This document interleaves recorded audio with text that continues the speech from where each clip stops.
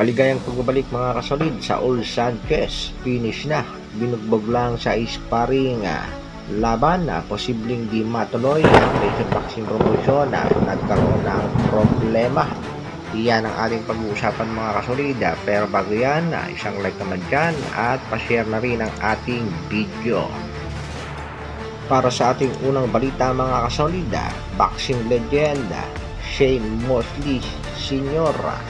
Muli na namang sumabak sa isang exhibition fight or celebrity fight mga kasolid na kung saan ah, nakuha nga nitong si Mosley ang panalo. Sa edad nga 53 mga kasolid ay makikita pa rin natin na ang dalawa nitong si Shane Mosley medyo bumagal nga lang ng konti dahil ah, nagkakaedad na.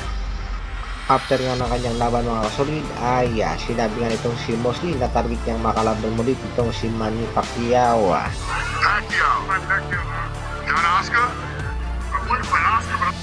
Matatandaan nga natin mga kasolid na tinalo na ng ating pambansang kamaw na si Manny Pacquiao, ah, itong si Mosley at sa katunayan ay napabagsak pa nga niya itong mga kasolid. ah. Pero sa kasalukuyan, ah, malabo na nga nga patulan pa ni Pacquiao itong si Shane Mosley. Ang mga gusto mong makalaban ni Pacquiao ay hindi naman natutuloy at tulad nga nitong si Muakaw. Samantala, kababayan natin si Vincent Acero Astro Labio, 100% ang tiwalang makukuha ng ating pambatong si Angas ng Pinas. Kwadro alas ang panalo kontra nga dito kay Saula Sanchez.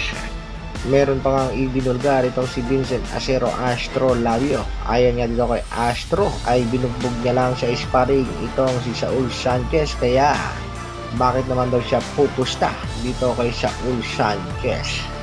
Gaano kaya katotoo ang mga binitawang salita nitong si Astro patungkol sa kanyang sparring niya kontra nga dito kay Saul Sanchez.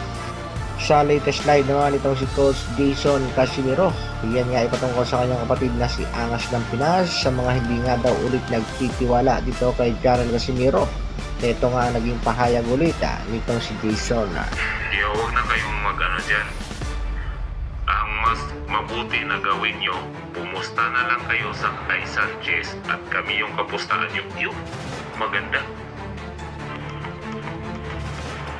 Sa kabilang balita naman mga kasolid, ah, ilang araw na lamang magaganap na bakbakan sa pagitan nitong si Angas ng Pinas, Jangan Casimiro kontra kay Saul Sanchez at makikita nga natin mga kasolid ah, sa latest update nasa kondisyon na ang ating pambatong si Jangan Casimiro. Gayon din naman ang kanyang makakalabang ah, si Saul Sanchez.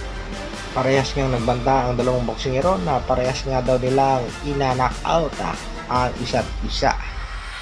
Treasure Boxing Promotion na tila nagkaroon naman ng problema sa event ngayong October 13. Yan nga ay patungkol sa isa sa mga undercard. Ito nga ay si Masataka Taniguchi na hanggang sa kasalukuyan na GBA pa rin na kung sino ang makakalaban na.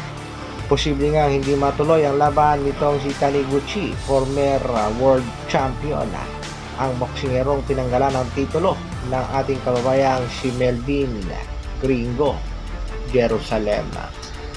Kaya mga kasolid, abang-abang lang sa mga latest update patungkol sa laban ng Angas ng Pinas kontra nga dito kay Saul Sanchez. Hanggang dito na lang muna mga kasolid. Maraming salamat sa patuloy na pagsuporta at panonood. Isang like naman dyan at sa mga bago, pa-subscribe na rin na mabuhay Dr. Alvin Vlogs.